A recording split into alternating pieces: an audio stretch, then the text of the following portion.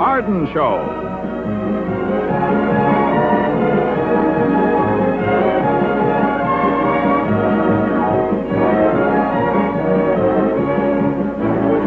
Starring Eve Arden. Co-starring Allyn Joslyn.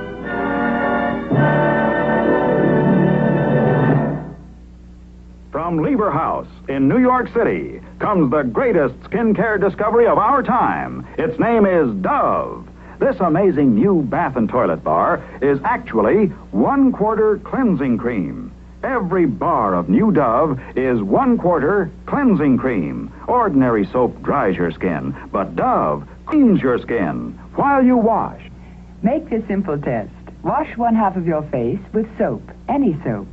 Rinse thoroughly, and then notice how dry your skin feels after using soap. Now wash the other half of your face with amazing new Dove. No after feeling of dryness now. Your skin has a velvety, just creamed feeling. That's because Dove creams your skin while you wash.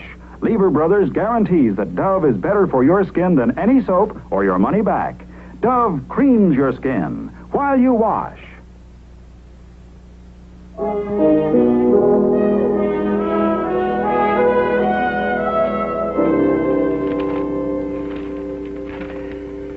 Liza, as your publisher, I'm taking the liberty of introducing to you my very dear friend, George Howell. I've known him for many years, and he's a wonderful guy. I know you will find him charming, cultured, witty, and lovable. Yes, yes, lo- lovable. Lovable. I told Staunton lovable wasn't the sort of word you put in a letter of introduction, so we tried to think of another one. Uh, personable, winsome, cute. we tried for hours, but we just couldn't find a word that fit as well. and lovable. He also has elephantiasis of the ego and always keeps his feet on the coffee table. And I hope you will accord him the same courtesy and treatment you would give me. I was planning to sue him next week. Tell me, Mr. Howell, how come such a charming, cultured, witty, and lovable fellow like you went to all this trouble to meet little old me? I read your book, Summer's End, and I was absolutely entranced. I thought it was just wonderful. Oh, really? Yes, then I made a few inquiries, and uh, I discovered you were quite a remarkable woman. A bit of a recluse, perhaps, but a very interesting woman. Show me one place here where it says I have elephantiasis of the ego and all my feet on the. Well, then I presume the reason you're here is to get an autographed copy of my book, right? No, no, no, thanks. Tea? Sandwich? Shoe shine? I'll tell you what I came for. Well, I'll listen, but you may not go home with it. I represent the Howell Speakers Bureau, and I'd like to have you as a client and arrange a lecture tour for you. You mean go around the country speaking to audiences? You'd be great. You can have your introduction back. I'll tell Mr. Stanton I found you charming, cultured, witty, and out of your lovable little mind. it's been a great pleasure meeting you, Mr. Howell, and now if you'll excuse me, I have work to do.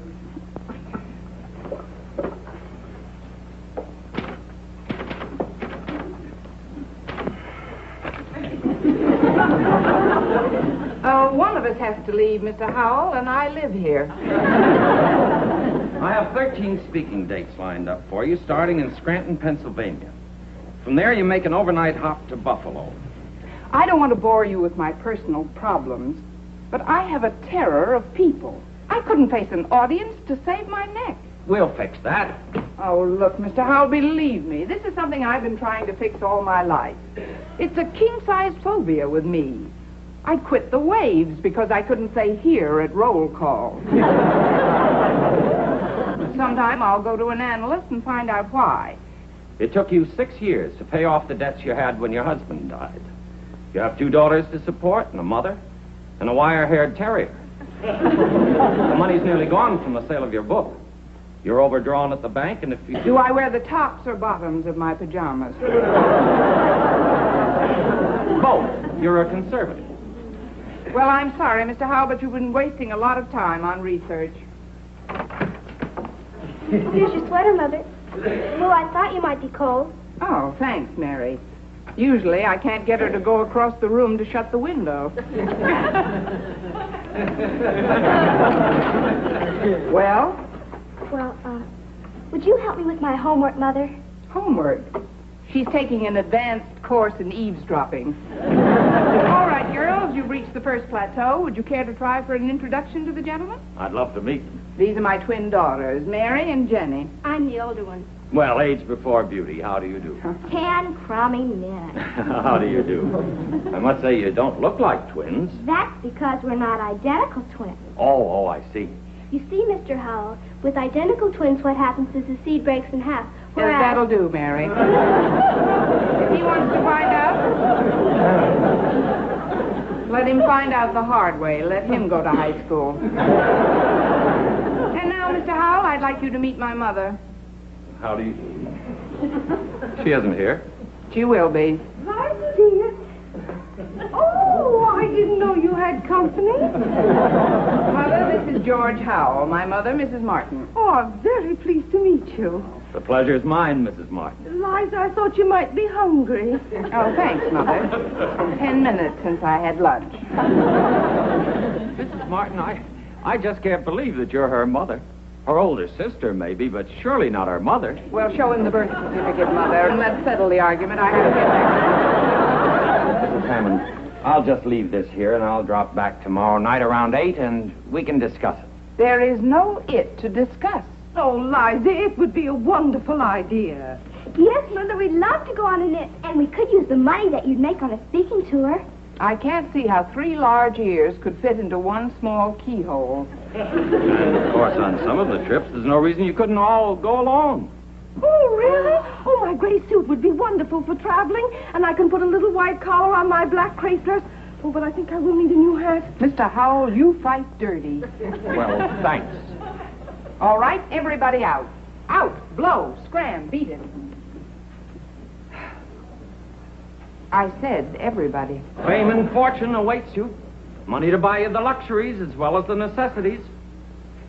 All this is yours if you'll just say the word. All right, Mr. Howell, I'll say the word. Police.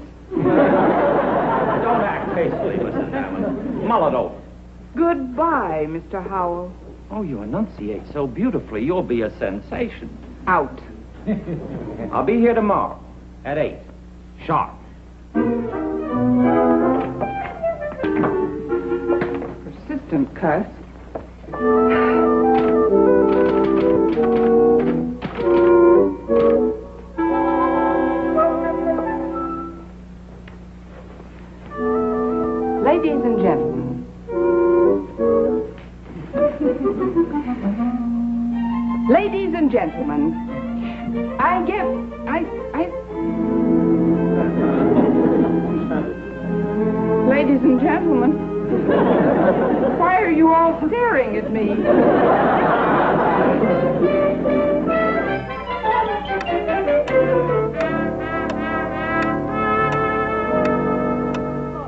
Mr. Howell would like a drink.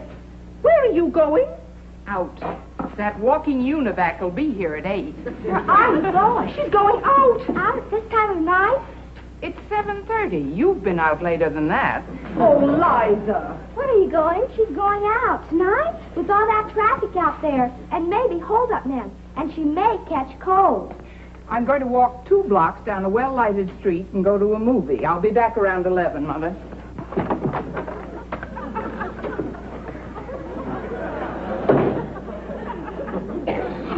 If you please. All right, go ahead. Leave us motherless as well as fatherless, without food, without shelter, without even a cashmere sweater. If the movie is this bad, I'll be back at eight thirty. What movie are we going to?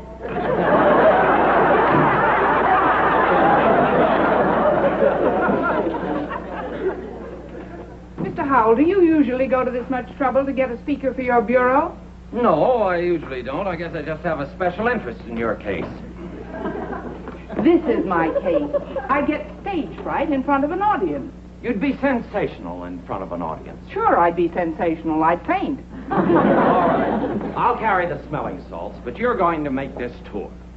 Mr. Howell, were you in the war? Yes, as a matter of fact, I was. Then how come it took us that long to win? Look, Liza, you haven't got stage fright. You've got world fright.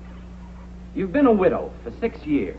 You've buried yourself within these four walls and hidden in the pages of the books you write. You've been hiding from life. Oh, come on now. When did you last have a highball? When did you last go on a date? When did you last kiss a man? Mr. Howell, I don't know where you've been getting your information, but it's not from the usual reliable source. Oh, really? Did you ever hear of still waters that run deep? You? At Harvard, my name is still spoken in hushed whispers. You're a Harvard man? I went to Wellesley, but my memories are at Harvard. As a matter of fact, at West Point, Flirtation Walk is still off limits to me. Why, to this very day, I can't go to a party without a man wanting to drink champagne out of my slipper. If you like, I can show you a whole closet full of soggy slippers. All right, let's go. Where? Show me. It's been years since I've seen a soggy slipper. Look, Liza, I happen to know that the wildest party you've been on in years was a PTA luncheon. You're an attractive woman. You dress well. You have a sense of humor. And what are you doing? You're vegetating. No woman should go six years without having at least one highball, without once being in a position where she's got to either kiss a man or give him a slap in the face.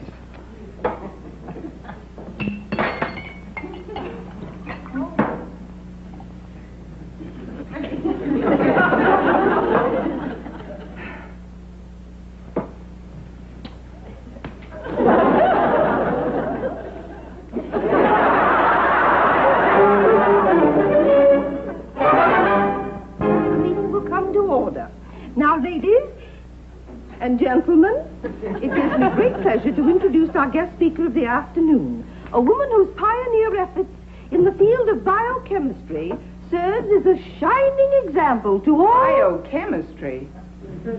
Oh, well, I guess I should have changed that when I copied it. This was written for Madame Curie. In the field of literature, serves as a shining example to all womankind, Mrs. Eliza Hammond. How does this look, Mother? Well, it looks all right to us, dear, but on the stage, you look kind of poor. Poor. Mhm. But don't you worry, I picked up some things that'll dress it up beautifully, dear. Mother, I haven't even written my speech yet. Well, I picked out one for you. Here, you can sort of practice on it as a model. Oh, really? Fellow citizens, as I stand here and look into the faces of my fellow Americans, I cannot believe you could send this innocent boy to the chair. that Clarence Darrow's first address. Well, let's avoid executions, Mother. I don't want to give them any ideas. Mother, I'm going on a lecture tour, not into burlesque.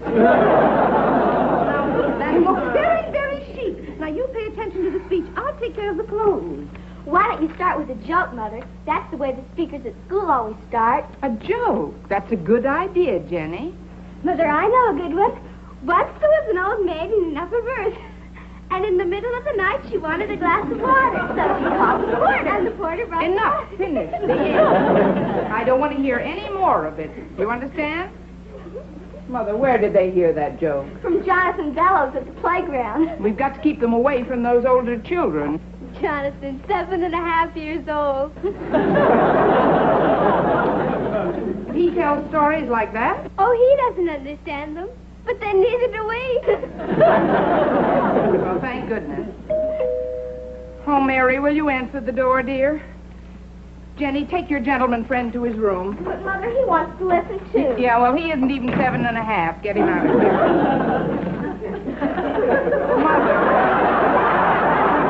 What are you doing? Well, I've got everything. How did she look? Well, maybe she's. I've just just been waiting in here for the rain to stop. Oh, I just love dressing her up ever since she was a little girl. You know, it's so much more fun to dress girls than boys. We stay clean longer. I think that's better. Oh, that is an improvement. Liza, don't you go changing anything now. No, I won't, Mother. Here's your speech. My speech? Yes, I wrote the first one. I've had so much more experience. Oh, Now, good. Uh, you always start off with a touch of humor. Uh huh. It seems there was an old maid in an upper. You've been hanging around with a seven and a half year old boy named Jonathan Bellows? Beg your pardon? Oh, look, Mr. Howell, I don't think I can go through with this. Really, I don't.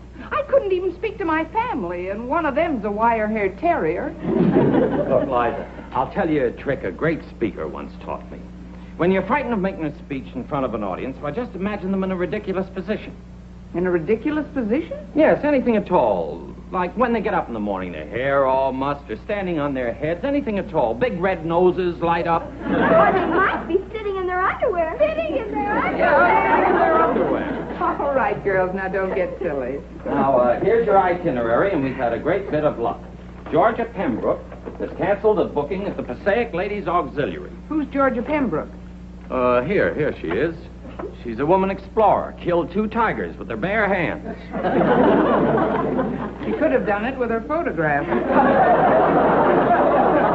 Passaic's a great place to break in, so we've booked you in there on October 4th. On October 4th. Oh, well, that'll give me time to write my speech, and I can decide where I'm going to. October 4th? That's tomorrow. Yes, that's Oh, right. no, I'll- Mr. Howell, I couldn't do it I'll pick you up and drive you over, and we'll get the. What are you mumbling Oh, about? oh, What's the matter? Oh, no, no. Oh, dear, she's lost her voice. Lost her she's voice? lost her voice. She always does this whenever she gets tense. What? Whenever she Wait a minute. tense. What's the matter? Look, everybody, keep calm now. Look, Liza. Oh, boy, sit down, sit down, dear. We'll take care of everything. Look, why don't we all be very quiet now? Why don't you girls Why do we have to go now? go on?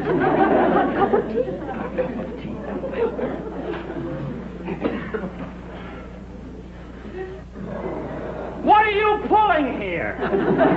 Scared to death and tightened up because you're afraid to make a speech in front of a few housewives in Passaic. You know what's wrong with you? You're a chicken. chicken, I told you that the first day I saw you. You're not afraid to make a speech. You're afraid to live. Here you are with everything any sane, able-bodied woman would scream for, and you can't do it. And do you know why? All right, why?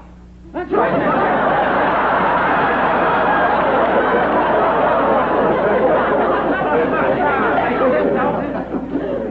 I say, have you got anything to say for yourself?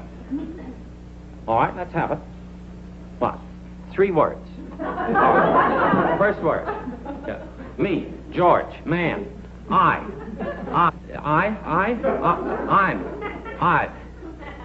I'm. All right, second word. Second word. Little word. But, the, and, a, uh, uh, uh.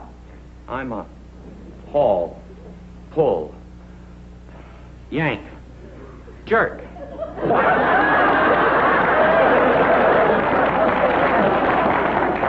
It only took me 17 seconds. oh, I've got news for you. I don't want you on this tour. Here's your contract back. Oh, I'm really sorry, Mr. Howe, but I've got my voice back. Yeah. I've got my voice. Isn't that funny? The minute you tore up my contract, my voice came Why, back. of well, course. it just shows I couldn't go on a lecture tour. The same Why, thing would happen to me Of course there. you couldn't. You're right about everything except that that isn't your contract.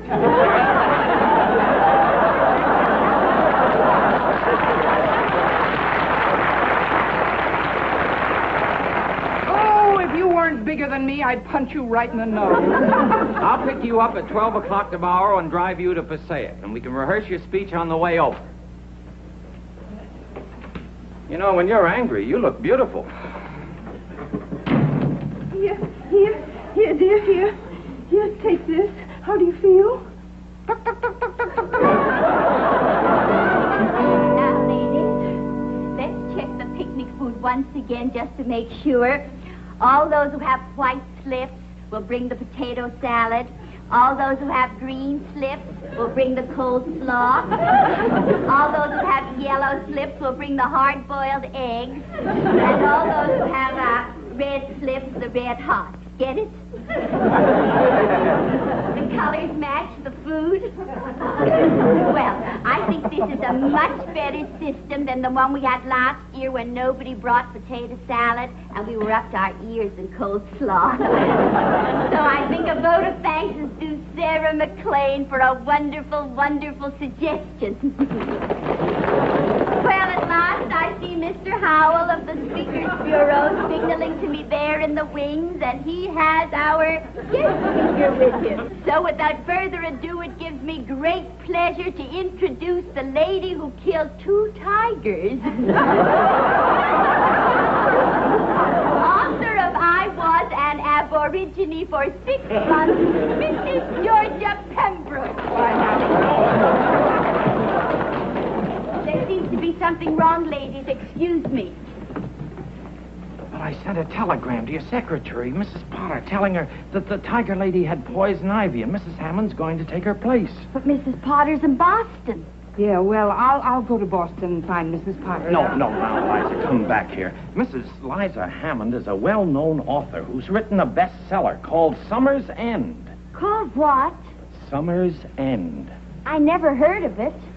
I think I left the water running in the bathtub. Well, I guess it'll be all right. Come on out and sit down, and I'll introduce you. Yes, you. come on. Yes, you have to. Now you must. Ladies,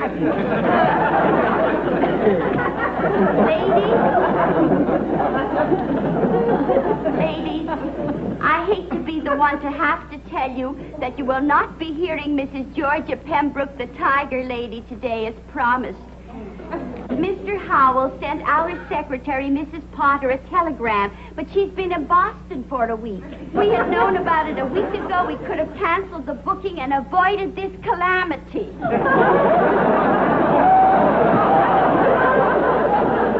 Well, it's no use crying over spilt milk, and so it gives me great pleasure to introduce Mrs. Uh... What was your name again, honey? Your name? That's funny. I knew it a minute ago. Mrs. Liza Hammond.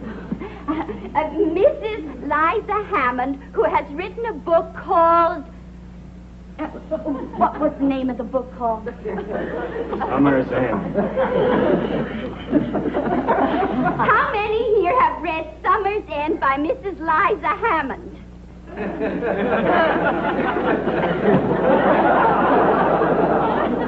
you sure that's the right name of the book? No, I'm not. Well, here she is, Mrs. Liza Hammond.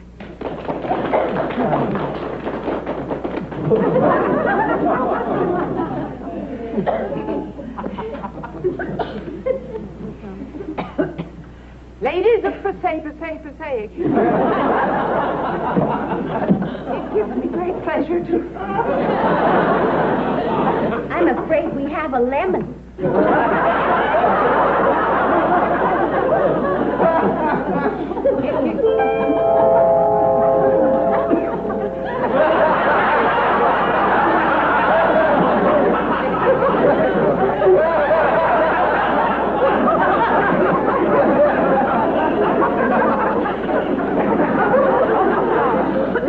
The Passaic Auxiliary, forgive me if I seemed a little ill at ease for a moment. It was only because, well, frankly, I was. you see, this is my debut as a speaker, and I've been sitting there wondering how to start this speech. When suddenly I looked at all of you and I realized that I only had to get down to the bare essentials. the basic foundation, so to speak. it seems there was an old maid in an upper berth. And now a word from our alternate sponsor, Shulton. Old Spice means quality, said the captain to the bosun. So ask for the package with the ship that sails the ocean. Here's a fellow who looks and feels like the top of the morning. Mm-hmm. That's because he's starting his day the Old Spice way. Old Spice Aftershave Lotion. The happiest ending a shave ever had. And it's good for your skin. Makes your face wake up. tingles it to a clean, fresh feeling, fresh as the spray of the surf. And you'll really like that good, tangy Old Spice scent, bright and bracing as an ocean breeze. Now, what does all this luxury cost? Just one dollar. And never did a dollar bring you so much. So add spice to your life. Get Old Spice Aftershave Lotion by Shulton. Just one of many famous Old Spice grooming aids for men. That's Old Spice Aftershave Lotion from the laboratories of Shulton. I thought that I was know. finished. But the way you got to those women was just great, Liza. For a first speech, believe me, it was absolute tops. Well, it was just as you said. All I had to do was get down to the bare essentials. oh, those foundations. but you were right. It is a whole new world. Traveling, meeting people. Yes, and this is just the beginning. Why, it's going to be wonderful out there. You're going to meet adventure, glamour, romance. This is an end of your sheltered life. Yeah, but let's taper off gradually. Oh, sure, we'll taper off gradually, like, uh, like, we'll say, what about you having dinner with me tonight? It's been six years, Mr. Howell. I don't think I'm ready. I'd, uh, Oh. I'd like to go with you, but I, I, I don't. What? I'd like Oh, no, no. I'd like to go. Wait a minute. Don't start that again. Remember, DBC. Don't be chicken. oh, young lady, I'm going to have to do some work on you. We can't have any more of this nonsense. You're a big girl now. You can't. Now, I want you to go right in that room and change your clothes so I can take you out to dinner. All right, I will, Mr. Howell. Just one thing. Why do you wear those atrocious pink striped shorts?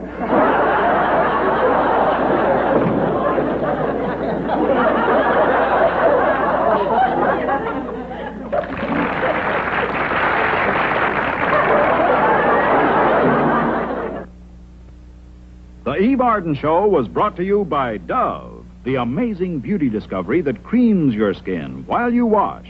Next week's sponsor will be Shulton, makers of Old Spice and other fine toiletries.